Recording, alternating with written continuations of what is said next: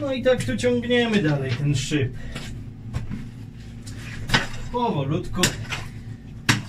Paręnaście centymetrów dziennie. 20 wiader można spokojnie zrobić. To jest jakieś pół tony. Bez przeciążania się, bo to nie sztuka się tutaj wypalić w parę tygodni. Trzeba rozłożyć siły na 4 miesiące albo i lepiej. Także jest to zabawa dla cierpliwych. To jest czwarty metr. No z tą skałą macierzystą to różnie bywa. Czasem jest na 12, 15, czasem na 30 metrach. Nigdy nie wiadomo. Ale to zawsze była zabawa dla cierpliwych. W... Na Eldorado, jak odkryli złoto, to znaczy Karmax odkrył złoto na Bonanzie w sierpniu, więc to już była końcówka lata. No i ci, co palikowali działki Eldorado odkryli chwilę później. I ci, co palikowali tam działki we wrześniu, no to tam było do skały macierzystej jakieś 15 stóp, czyli 5 metrów. To szacowali, że żeby dotrzeć do skały, to potrzebują dwa miesiące. No bo oni musieli palić ogniska, rozmrażać tą wieczną zmarzlinę, wyciągać ten zmarznięty mak na powierzchnię wiadrami. W związku z tym szacowali, że żeby się przekonać, czy rzeczywiście jest tam jakiś pastryk na tej skale macierzystej, to potrzebują dwa miesiące. Dwa miesiące to jak na 5 metrów w dół to jest dosyć dużo czasu. Także ja tu nie jestem aż taki załamany, nie idzie mi wcale tak wolno. Oczywiście przydałaby się skrzynka dynamitu, ale jest jak jest. Oho, jakiś mamy tutaj alarm. A, bateria mi wysiada. Ale powietrza jest tutaj dużo. 20,9 Ojej. 20,9 mamy tutaj zawartość tlenu w powietrzu. Podciągnąłem wentylację tutaj do samego dołu, więc mi tu świeże powietrze z góry wpada, także nie ma problemu. No właśnie. No na Bonanzie tak naprawdę jak Anton Stander odkrył złoto, to na powierzchni coś tam było w strumieniu, ale to nie było wcale wiadomo, czy na dole jest tak naprawdę bogactwo, czy go nie ma. Co mówiłem, że Karmax odkrył złoto w Klondike, tak? No tak, no bo Karmax odkrył złoto, ale Karmax odkrył złoto na Bonanzie. A wtedy jeszcze nie wiedziano, że Eldorado jest jeszcze bogatszym strumieniem. A Eldorado to był taki malutki dopływ Bonanzy, wtedy nazywany przez nich szczeniakiem Bonanzy. Woda tam ciurkała sobie dolinką, nikt tam nie bardzo zwracał uwagę na to. Aż któregoś razu, no właśnie, wspomniany już Anton Stander, to partner tego był, no, no, no, Clarence'a Berriego, tego mm, menadżera baru w 40 mili. No to właśnie ten Anton Stander, on był Austriakiem. On przyjechał, jak odkrył złoto na Eldorado, to miał 29 lat ale jak przyjechał do Ameryki Północnej, to było 9 lat wcześniej. To nie mówił ani słowa po angielsku, ani słóweczka. Co więcej, miał przy sobie dolar 75. Trzeba mieć fantazję, co? No i przez 9 lat szukał szczęścia, szukał swojej fortuny gdzieś tam w najdalszych zakątkach kontynentu. Był kowbojem, wypasał owce, nawet był tym górnikiem węglowym, kopał węgiel,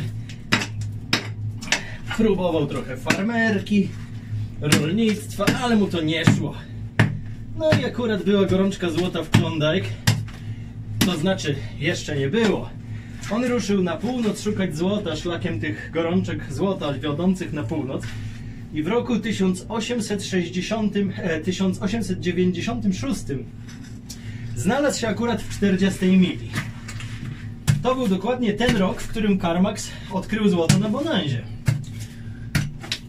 To się nazywa być w odpowiednim miejscu, w odpowiednim czasie, co? No, mieć szczęście w szukaniu złota to już jest połowa sukcesu. Był tam, gdzie trzeba. No i właśnie znalazł Carmax złoto na Bonanzie, no ale Stander był na tej Bonanzie ciut za późno.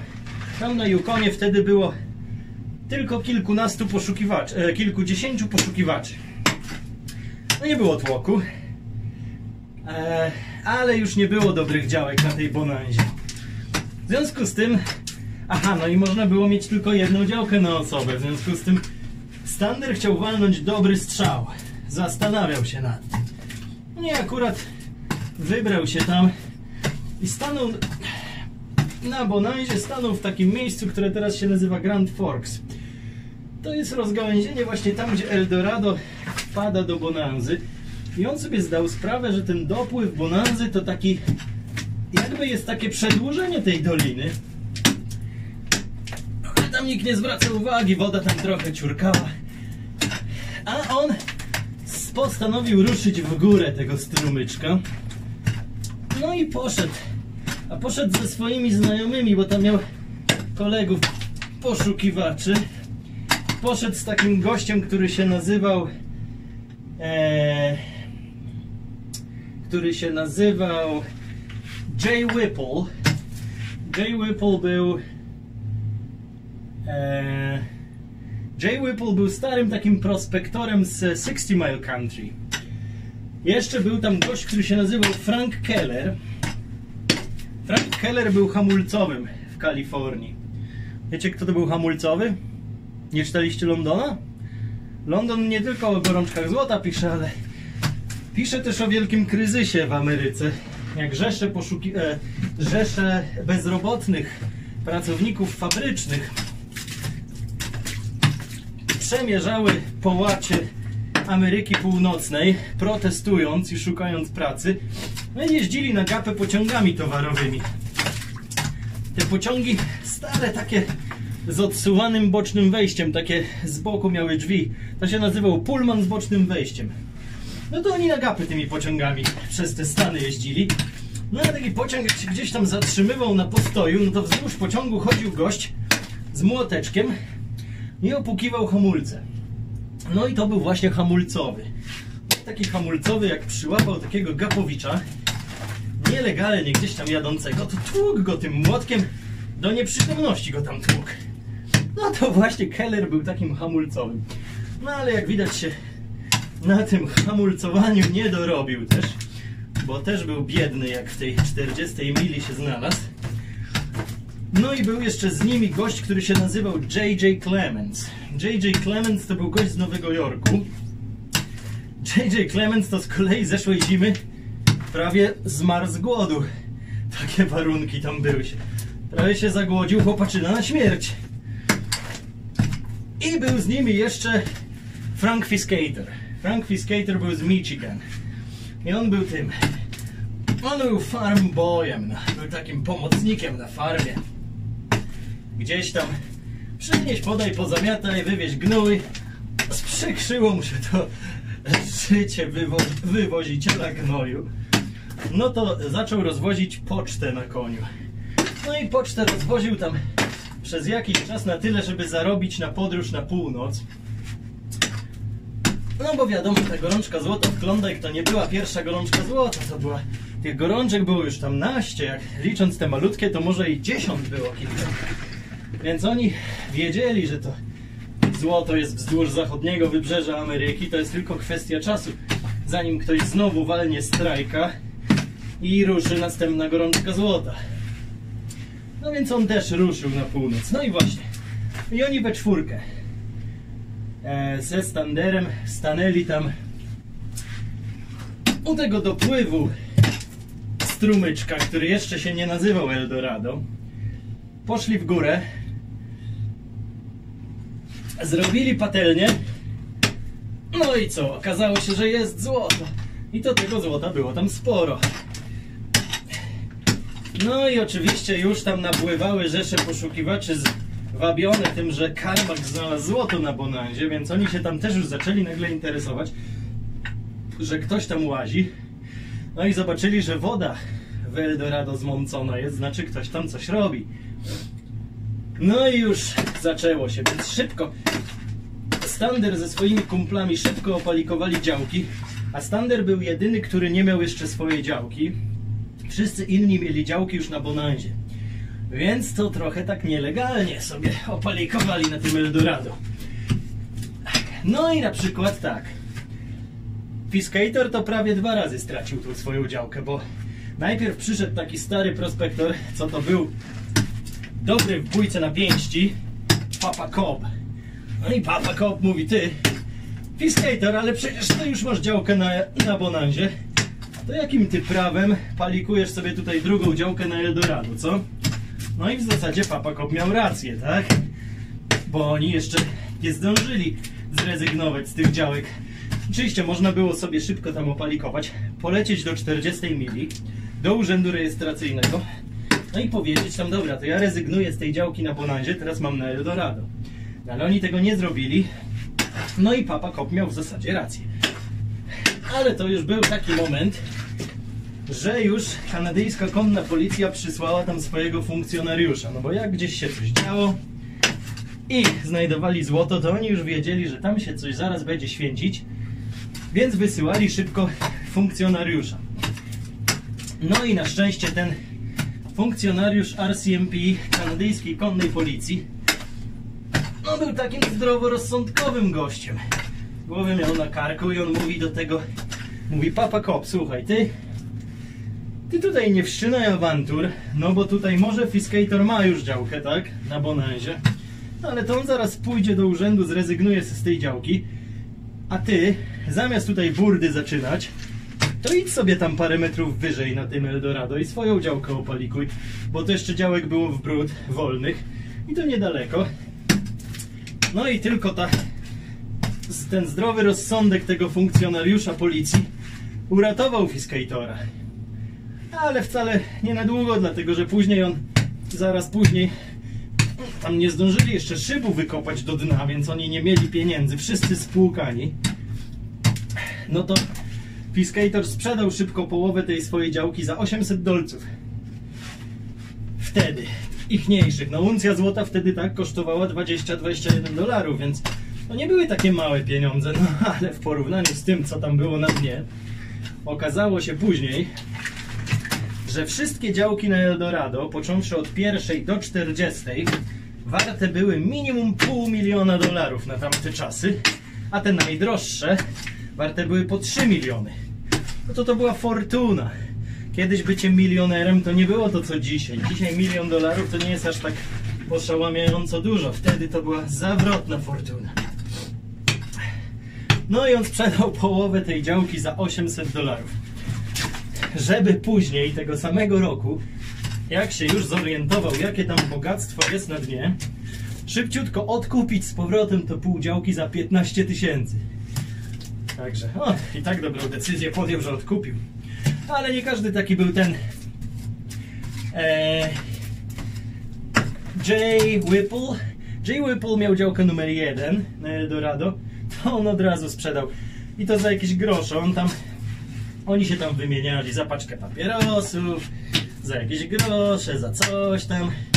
No to Jay Whipple nie wierzył, że tam jest jakaś fortuna. Sprzedał to za grosze, a gość, który od niego kupił tą działkę, to potem przez 50 lat żył z tej działki. Jak to można popełnić błąd, co? Jedna pochopna decyzja i dziękuję. Ale sobie musiał gość pluć w brodę potem przez całe życie, że sprzedał. No ale takich historii było więcej tam. Stander miał czwartą działkę, tak? To, no to właśnie jest ta działka, bo to da, dalszą część historii o Standerze to znacie. Jak on poszedł do tego trading postu w 40 mili, bo nie miał pieniędzy, żeby tą swoją działkę eksplorować. No i kto go tam wspomógł? Ten Clarence Berry, tak? Jego partner. E... Także Stander zachował tą działkę, to znaczy zachował 50%, bo 50% oddał Beriemu. Ale on nie był taki w gorącej wodzie kąpany, więc ze Standerem, e, Berry ze Standerem pociągnęli ten szyb. Jeszcze tego samego roku dociągnęli do skały macierzystej na 15 stopach. No i mieli te 57 dolarów na patelnię, no to była niezła fortuna. Także te działki tam były warte półtora miliona każda. Także. No, ale tak, no Berry był przedsiębiorcą, sadownikiem z Kalifornii. I jak taki człowiek dojdzie do pieniędzy, to potem mniej więcej wie, jak z tymi pieniędzmi sobie zarządzać. Zresztą, jak Berry nie miał pracy, nie mógł znaleźć za bardzo złota na bonazie, to co zrobił? No poszedł i pracę znalazł, tak? Był tym menadżerem baru. Natomiast Stander, awanturnik, całe życie szukał szczęścia, rozbijał się po najdalszych zakątkach kontynentu, bez grosza przy duszy. To zupełnie inny typ, taki bardziej charakterystyczny dla poszukiwacza złota. No to Stander został jednym z Klondike Kings. Zaczął szastać pieniędzmi, pić wściekle. Oni się tam raczyli, potem jak się już zaczęła gorączka złota. No bo tak, gorączka, wielka gorączka złota w Klondike tak naprawdę ruszyła dopiero dwa lata później, w 1898 roku. Czyli dwa lata, aż potrzebowały te wieści, żeby przez, przedostać się przez góry z Yukonu do świata zewnętrznego. No. Nie było internetu, satelitarnych połączeń, no to musiało trochę potrwać. No więc w każdym razie dopiero dwa lata później zrobiło się w Dawson tłoczno. No i oni się raczyli wtedy szampanem i Stander tam oczywiście przodował.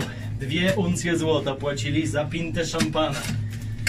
Parady robili po głównych ulicach Dawson i tak dalej. No i w zasadzie to jeszcze nie byłoby tak źle, ale Stander przystojny Austriak to też miał słabość do pięknych kobiet. A że kobiet za bardzo to tam w Dawson nie było, to zawiesił oko na takiej tancerce i o, no i chciał strasznie tam jej się przypodobać, kupić jej względy.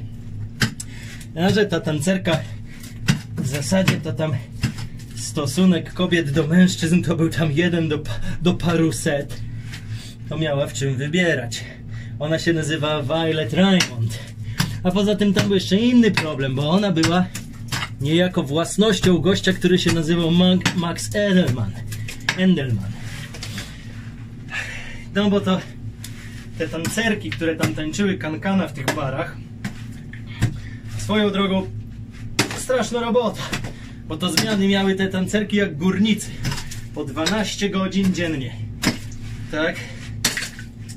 No i to było tak, że taki gościu, który tam przywoził te tancerki na północ, to zwykle wyszukiwał młode, ładne, atrakcyjne dziewczyny gdzieś tam w ubogich rodzinach. Szedł do takiej rodziny i mówił tak. No, tutaj jest taka atrakcyjna oferta pracy dla waszej córki, ale wy jesteście ubodzy, nie macie pieniędzy, żeby pokryć koszty tutaj podróży, ubioru, pięknych sukien, zakwaterowania, wyżywienia. Córka będzie zarabiać dobre pieniądze, no ale ja najpierw wam skredytuję te wszystkie wydatki, a ona potem będzie to spłacać, tak? Więc te córki biedne, jak niewolnice, pracowały, spłacały te zaciągnięte długi. Więc ona była w zasadzie kupiona w Juneau, w Opera House, gdzieś tam przez tego Endelmana. Razem ze swoją młodszą siostrą zresztą. No i spodobała się Standerowi. No i Stander Stander strasznie chciał, żeby ona została jego żoną. No to tak kupił jej wszystkie diamenty w domu, są dostępne. Przyniósł jej worek złotego piasku wart 2000 dolarów. 2000. No potem przyniósł jej wiadro samorodku złota. Ona tam kręciła nosem ciągle. Także No to taka była dziewczyna. Nie mówię, że to nie była porządna dziewczyna, bo to, to wcale nie było tak, że te tancerki to się trudniły jeszcze jakimiś innymi niegodziwymi aktywnościami. A często było tak, że to po prostu były tancerki. One tańczyły kankana za pieniądze. No ale tutaj ona miała wybór. No i w końcu, w końcu Stander zapewnił jej 1000 dolarów miesięcznie pensji w zasadzie. No i ona zgodziła się za niego wyjść. Pojechali w końcu, wrócili do świata parowcem, bo to parowcami się pływało, one płynęły w górę Yukonu, e nie, w dół Yukonu, z biegiem Yukonu do Morza Beringa, no i potem dookoła tam Alaski na dół do Seattle czy do Frisco. No to wrócili do Seattle. Stander zaplanował podróż poślubną wspaniałą z pompą do Chin. Chciał ją zabrać. No i na drobne wydatki przeznaczył na drobne wydatki e, 100 funtów złota. Ale nie tam funtów szterlingów, tylko funtów wagi, czyli ile to tam? No, około 50 kg. 50 kg złota na drobne wydatki, ale problem się pojawił taki, że na tym parowcu w Seattle to on się bał zejść na ląd, bo on się bał, że jak on zejdzie na ląd, to mu ktoś ten jego cały majątek podpierniczy. No i Stander zaczął po prostu powoli wariować. A co więcej, pił coraz bardziej, pił i jakieś zaczął dziwne akcje odstawiać. Któregoś razu to prawie tą swoją żonę pociął nożem. A taka porywcza dusza poszukiwaczy, co? Awanturnik, no. Porządni ludzie. Spokojni. Jak do czegoś dochodzą, to sobie jakoś z tym lepiej radzą. A chyba domeną takich poszukiwaczy złota to jest raczej szukać złota, a nie je znajdować, bo potem to już same problemy. Ale on nie był jedyny. Większość z tych Klondike Kings to właśnie tak została zdetronizowana szybciutko. No bo tak, no finał był taki, że Stander większość swojego majątku przepił. Aha, oni jeszcze z żoną zdążyli z tą Violet, Violet Raymond, zdążyli wybudować w Seattle hotel. Bardzo ekskluzywny hotel. No ale jak on już tak się rozpił na maksa, to większość tej fortuny przepił, a żona go zostawiła. I jeszcze w dodatku zabrała ze sobą ten hotel, odchodząc. On został biedny. Stwierdził któregoś razu, że pojedzie na północ i znajdzie złoto ponownie. Pojechał, nie miał pieniędzy już nawet na podróż. Obierał w kambuzie ziemniaki, żeby spłacić podróż. Ale drugiego Klondike już nigdy nie znalazł. Takie historie zdarzają się raz w życiu. No i co? Zmarł w Sitka na Alasce, w domu pioniera, czyli w przytułku w zasadzie. Jakie to niezbadane są wyroki losu. Koleje losu poszukiwaczy. Zupełnie inna postać niż partner jego Clarence Berry, co? Taka. Niespokojny duch Anton Stander tak właśnie skończył. No dobra, muszę chyba załadować to co skułem i na górę z tym wiadrem jazda.